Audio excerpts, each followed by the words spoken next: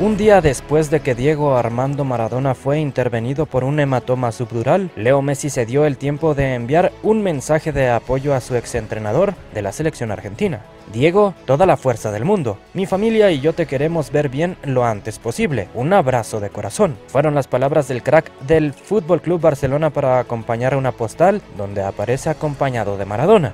Maradona, quien llegó a los 60 años el pasado viernes, fue ingresado este lunes por anemia, deshidratación y un bajón anímico. Luego de los estudios pertinentes, se determinó que tenía un hematoma subdural por el que fue operado en Buenos Aires. Messi fue dirigido por Maradona entre 2008 y 2010 en la albiceleste que disputó el Mundial de Sudáfrica 2010. Pronta recuperación para el Diego.